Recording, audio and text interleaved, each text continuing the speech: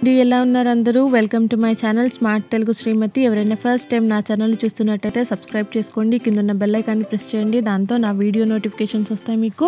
ఇవాళ నేను మీకు యమ్మి యమ్మి పిజ్జాని చూపించబోతున్నాను. పిజ్జా అనేది ఎలా ప్రిపేర్ చేసుకోవాలో దానికోసం ముందుగా నేనైతే ఆశీర్వాద్ ఆటాని యూస్ చేస్తున్నాను.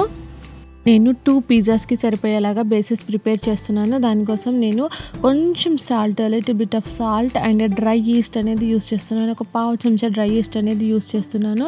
దాని తర్వాత కొంచెం షుగర్ లైట్గా షుగర్ అనేది యాడ్ చేసి వాటర్ అనేది యాడ్ చేసి కొంచెం మెత్తగా అంటే కొంచెం సాఫ్ట్గా అయ్యేలా దాన్ని మిక్స్ చేసుకోవాలి. కొంచెం మెత్తగా అనేది ఉండాలి. ఆఫ్టర్ దట్ మీరు క్యాప్ పెట్టేసి ఒక ట్వంటీ టు థర్టీ మినిట్స్ అనేది పక్కన పెట్టేయాలి. ఆ లోపు దానికి ఏమేమి ఇంగ్రీడియంట్స్ కావాలో చెప్తాను మీకు.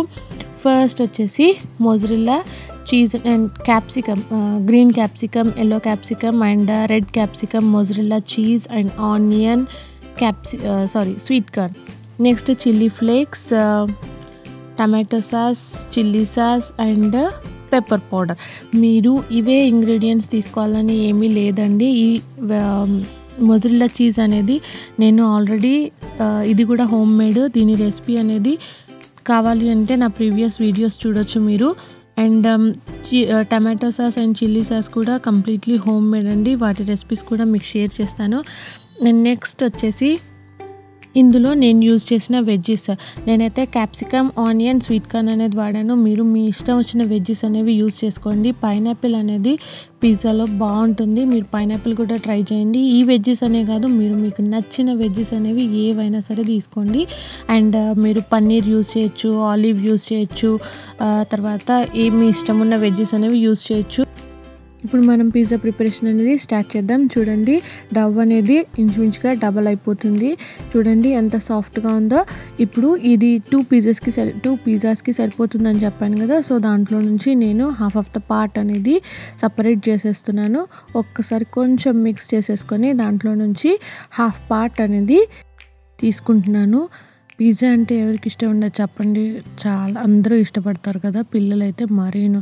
సో ప్రతిసారి బయట నుండి పిజ్జా తెప్పించే కన్నా ఇలా అన్ని సాసెస్ ప్రిపేర్ చేసి పెట్టుకున్నామండి.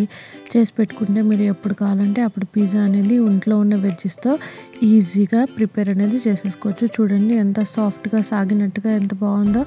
సో మీరు దీంతో ఈజీగా పిజ్జా అనేది ప్రిపేర్ చేసుకోవచ్చు. నా ఒక ప్యాన్ తీసేసుకోండి. ఒక ప్యాన్ తీసుకొని దానికి కొంచెం లైట్గా ఆయిల్ అనేది అప్లై చేయండి. ఆయిల్ అప్లై చేసిన తర్వాత మీరు హ్యాండ్ని యూస్ చేసే దాన్ని కొంచెం మందంగా చపాతీలాగా ప్రెస్ చేసుకోండి. అది ఆల్రెడీ కొంచెం మెత్తగా ఉంది సాగినట్టుగా ఉంది కాబట్టి మీరు ఈజీగా ప్రెస్ చేసేసుకుంటారు. అలా చపాతీలాగా ప్రెస్ చేసేసుకొని కొంచెం మందంగా ఉండాలి. చపాతీ కన్నా కూడా చాలా మందంగా ఉండాలి. ఆ తర్వాత ఫోర్క్ని యూస్ చేసి అక్కడక్కడగా ఘాట్లు పెట్టుకోండి. ఎందుకంటే అది ఈవెన్గా కుక్ అవ్వడానికి మీ అది యూ హెల్ప్ అవుతుంది. తర్వాత కొంచెంగా చిల్లీ సాస్ అండ్ టమాటో సాస్ని కలిపి మిక్స్ చేసి అప్లై చేయండి. ఇక్కడ ఏంటి అంటే chilli sauce and tomato sauce అనేది వాళ్ళ వాళ్ళ ఇష్టాన్ని బట్టి అంటే కొంచెం స్పైసీ ఎక్కువ కావాలంటే చిల్లీ సాస్ ఎక్కువగా స్వీట్నెస్ ఎక్కువ కావాలి అనుకుంటే టమాటో సాస్ అనేది ఎక్కువగా తీసుకొని అప్లై చేసేయండి. నేనైతే ఇక్కడ చిల్లీ సాస్ అండ్ టమాటో సాస్ని తీసుకొని ఈవెన్గా స్ప్రెడ్ చేసేస్తున్నాను. అలా స్ప్రెడ్ చేసేసిన తర్వాత onion and capsicum sweet corn మీరు ఇందులో అప్పుడప్పుడు ఏంటంటే పన్నీర్ అండ్ పైనాపిల్ అని చెప్పాను కదా వాటితో పాటు ఎప్పుడైనా సోయా చంక్స్ని కూడా ట్రై చేయండి. చాలా బాగుంటుంది. తర్వాత నేను కొంచెం pepper powder and chilli flakes రెండింటిని స్ప్రెడ్ చేస్తున్నాను. ఇవి కూడా ఏంటి అంటే స్పైసీ ఎక్కువ తినే వాళ్ళు ఎక్కువగా తక్కువ తినే వాళ్ళు తక్కువగా వాళ్ళ వాళ్ళ టేస్ట్ని బట్టి యాడ్ చేసేసుకోండి. తర్వాత మొజరిల్లా చీజ్ అని చెప్పాను కదా మొజరిల్లా చీజ్ని బాగా గ్రేట్ చేయండి. గ్రేట్ చేసిన తర్వాత నేను స్టవ్ ఆన్ చేసి దానిపైన ప్యాన్ పెట్టేసి లిడ్ పెట్టేసి ఒక్క టూ మిన్ ఫైవ్ మినిట్స్ వరకు దాన్ని కుక్ చేసుకోండి. ఆ ఫైవ్ మినిట్స్ కూడా సిమ్లో పెట్టి అంటే లో ఫ్లేమ్లో పెట్టి కుక్ చేసుకోండి.